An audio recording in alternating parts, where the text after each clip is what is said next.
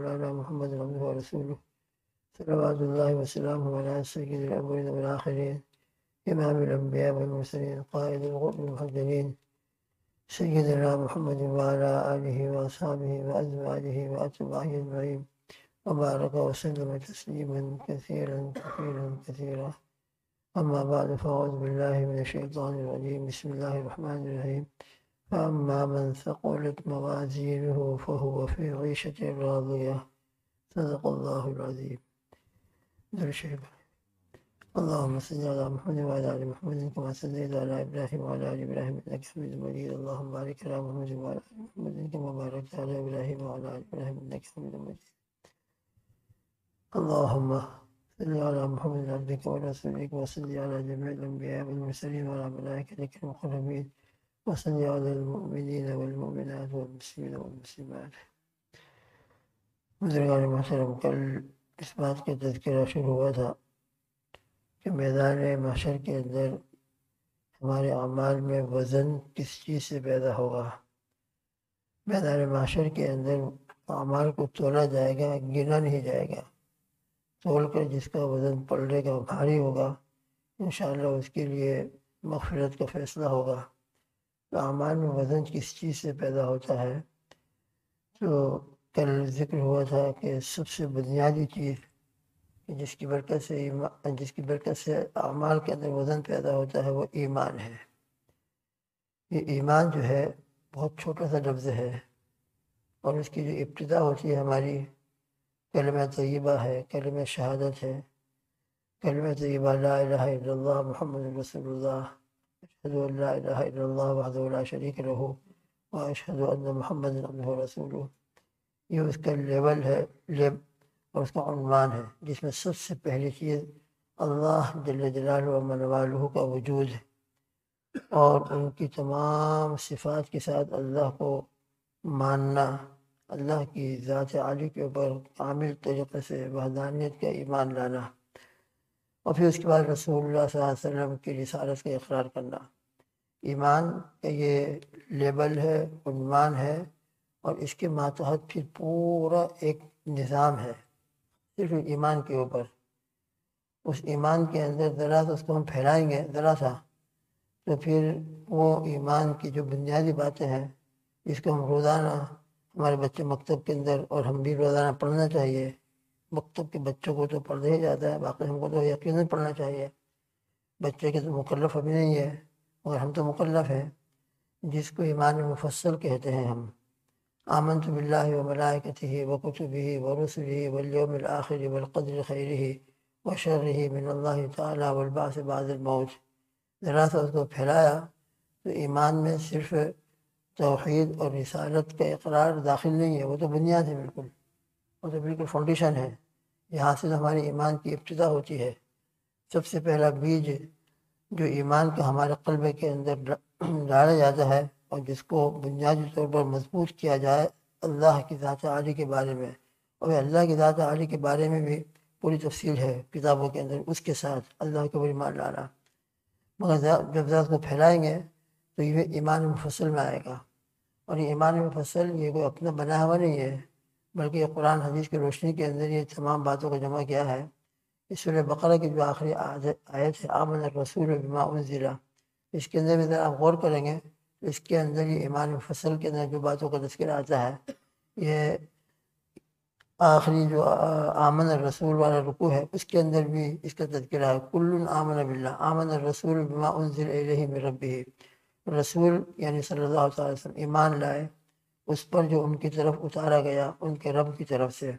वलमिनून और ईमान वाले भी उन तमाम बातों पर ईमान लाए, जो हमारे पैगंबर हमारे रसूल सैदना मोहम्मद रसूलुल्लाह सल्लल्लाहु पर नाजिल किया गया। फिर उसके बाद फरमाता कुल्लुन आमन बिल्लाहि सब के सब ईमान लाए अल्लाह के ऊपर, व मलाइकत ही और उसके फरिश्तों पर। व कुतुबी ही और उसकी किताबों पर व रसूली ही और उसके पैगम्बरों पर। तो कुछ बातें इसके अंदर आई हैं। आमन जो ईमान फ़सल के अंदर हैं। तो ईमान फ़सल के अंदर ज़रा हम ईमान को फैलाते हैं। ईमान के मुकम्मल होने के लिए किन बातों पर ईमान लाना ज़रूरी है? बुनियाद तो अल्लाह की वहदानियत है, तोहद है। और फिर उसके बाद रसूल वसल्लम की रिसालत है। फिर उसके बाद ज़रा आगे बढ़ेंगे। तो यही ईमान की बुनियादी बातें जो अकायद हैं। ईमान फ़सल के अंदर उनका तस्करा है। आमन मलाइकती ही। अल्लाह के ऊपर ईमान लाना मलाइका के ऊपर ईमान लाना, व कुछ भी व रसुल ही। उनकी किताबों पर, उनके रसूलों पर, इसकी डिटेल तफसीलात किताबों में है। मलाइका के ऊपर कि अल्लाह की एक मखलूक है, कुतुब कुतुब ही। अल्लाह ने जितनी किताबें नाजिल फरमाई हैं, जितनी किताबें जो मशहूर हैं, तकरीबन 104 किताबें हैं। चार बड़ी बड़ी किताबें हैं और छोटे छोटे रसायल तकरीबन सौ के करीब हैं, सहूफ़ इब्राहिम व मूसा शरीफ, इंजिल शरीफ, ज़बूर शरीफ और ये कुरान मजीद। ये बड़ी बड़ी चार किताबें हैं। और फिर उसके बाद सहूफ़ इब्राहिम व मूसा, हज़रत इब्राहिम आसमाम हज़रत मूसा आसमाम वगैरह को जो सहूफ़ छोटी छोटी किताबें दी गई, उनके ऊपर भी इजमाली तरीक़े से ये ईमान लाना अल्लाह सुबहान ताली ने जितनी किताबें नाजिल फरमाई हैं, वो सब बिल्कुल बरहक हैं। लिहाजा हम किसी भी किताब का इनकार करेंगे तो ईमान हमारा मुकम्मल नहीं होगा। बल्कि हो सकता है कि ईमान की हकीकत हमको हासिल ना हो। तो तमाम किताबों पर तौरा शरीफ पर भी ईमान लाना है, ज़बूर शरीफ पर भी, इंजील शरीफ पर भी और कुरान मजीद पर भी। अलबत् तौरात वगैरह जो किताबें हैं, उनके ऊपर ये ईमान हमारा काफ़ी है कि बस हमारा ईमान ये है कि अल्लाह ने जितनी किताबें नाजिल फरमाई हैं, वो बिल्कुल बरहक हैं। इस वक्त जो किताबें लोगों के हाथों में हैं, इंजिल शरीफ है तौरा शरीफ है बिल्कुल ये बेआनी वही है वल्लम हम नहीं कह सकते। इसलिए कि इनकी हिफाजत अल्लाह ने अपने ज़िम्मे नहीं ली है, बल्कि उनकी हिफाजत उनके पैगंबर और उनके उम्मतियों को दे दी गई। अब उन्होंने उसके अंदर क्या क्या गड़बड़ी की है और क्या छोड़ा है, क्या बाकी रखा है, उनका काम हो जाने हम तो सिर्फ़ इजमाली तौर पर इतना ईमान लाना हमारे लिए बहुत ज़रूरी है कि तौरात शरीफ अल्लाह की नाजिल की हुई किताब है। इंजील शरीफ अल्लाह की नाजिल की हुई किताब है। ज़बूर शरीफ अल्लाह की नाजिल की हुई किताब है उस, उस पर हमारा ईमान है। उसका इनकार हम नहीं करते। और कुरान मजीद आखिरी किताब है।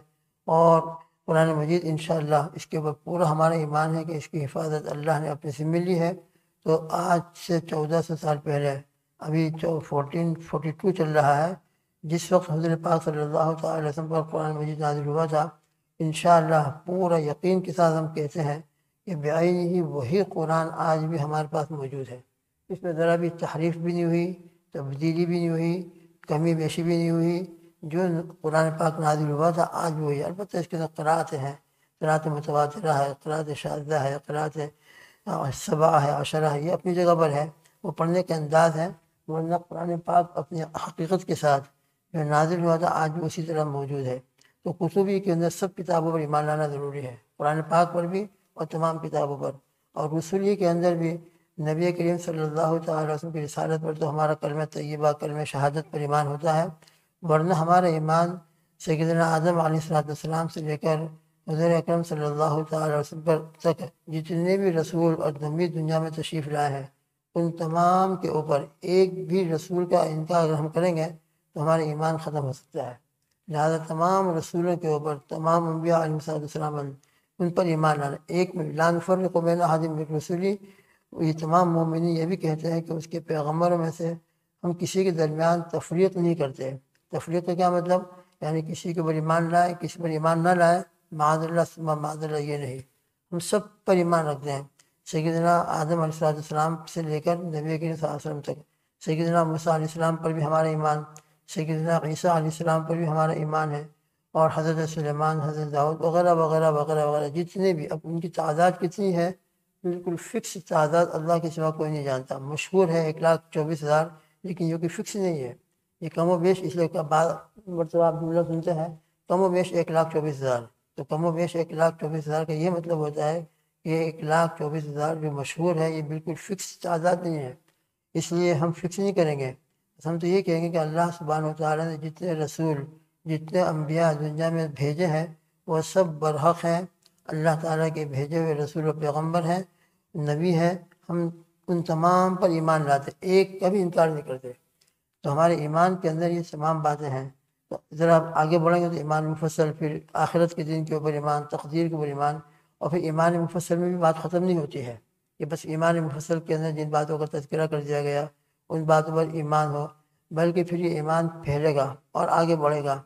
और फिर अकायद की किताबों के अंदर जितने अकीदे बयान किए गए हैं, उन तमाम अकीदों के ऊपर ईमान लाना और उन तमाम अकीदों को कबूल करना, तस्लीम करना, जिसके अंदर युमिन जैसे कुरान पाक की जो सुर इब्तदा सुर बकरा की पहली आयत है, अल्लाजीन युमिन बिलगैब। वो मुतकी जो ईमान रखते हैं गैब की बातों पर। अब गैब के अंदर पूरा एक निज़ाम है।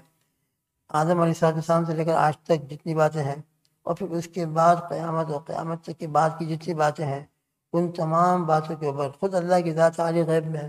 हमने अल्लाह की ज़ात आली को देखा नहीं है, मगर ईमान हमारा। सबसे पहला ईमान तो अल्लाह की ज़ात आली बड़ी होता है।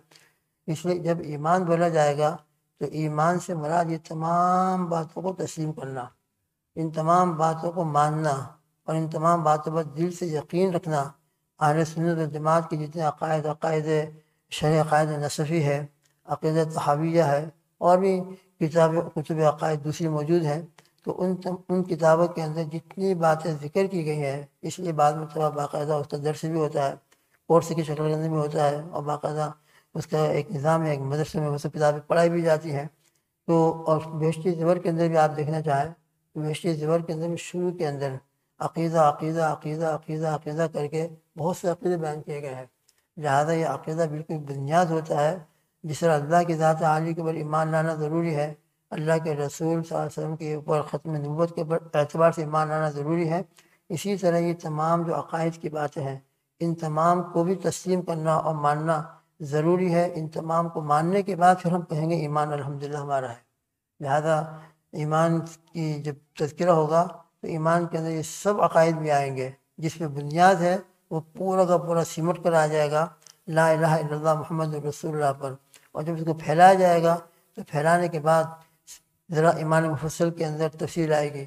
और ईमान मुफसल के अंदर ख़त्म नहीं हुआ है, बल्कि ईमान मुफसल के बाद फिर अकायद की किताबों के अंदर जितनी बातें ज़िक्र की गई हैं, क़्यामत का आना, फिर क़्यामत के अंदर वज़न वज़न, अमाल का होना, मीज़ान अदल कायम किया जाना, हौज कौसर का होना, और इसी तरीके पर कब्र के अंदर जो कुछ मामला किए जाते हैं आने बरसक के अंदर, उसके अंदर अजाब है या उसके अंदर राहत है, उसके भी ईमान लाना जन्नत के ऊपर ईमान लाना, दोजख के ऊपर ईमान लाना, वगैरह वगैरह वगैरह, वो तमाम बातें जो अकायद की किताबों में ज़िक्र की गई है, उनको जानना भी ज़रूरी है और उनका मुताल करके उनके ऊपर ईमान लाना भी ज़रूरी है या इस कस्म की जो बातें जब भी हमारे सामने आती जाए, अकीदे के सिलसिले की, उसके बाद दिल से ईमान लाना ज़रूरी है तो जाकर हमारा ईमान मुकम्मल होगा और ईमान की तकमील पर ही इन हमारे अमाल के अंदर वज़न पैदा होगा।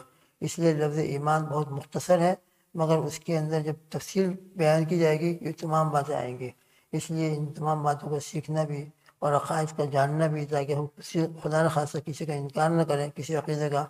इसलिए अकायद को भी जानना चाहिए और अकायद के बारे में जो कुछ मजलिस हो या दर्स हो, उसके अंदर शिरकत भी करना चाहिए, ताकि हमको मालूम हो कि ये भी अकीदा है, ये भी अकीदा है, ये भी अकीदा है। इसे फिर अल्लाह की तोफ़ी से, अल्लाह के करम से, अल्लाह के रहम से पूरे अकीद तहाविया हमारी फजर की मजलिस में हुई है, पूरी अकीद तहाविया। इससे पहले अल्लाह का करम, उनके एहसान, उनका फजल है। तो अल्हम्दुलिल्लाह, उन तमाम बातों के ऊपर ईमान लाएँगे तो जाकर हमारा ईमान मुकम्मल होगा। अल्लाह पाक मुझको भी और आपको भी पूरी उम्मत मोहम्मद को तमाम सही अकीद और ईमान नसीब फरमाए। अकायद अहल जमात, माँ अनानी वसाबी उन तमाम बातों के ऊपर सही ईमान और सही अकीदा और उसके ऊपर हमारा पूरा पूरा ईमान, यकीन हो, अल्लाह ऐसा ईमान हमको अता फरमाए। अल्लाह आमीन। सुबहान अल्लाह बहमदी सुबहान अल्लाह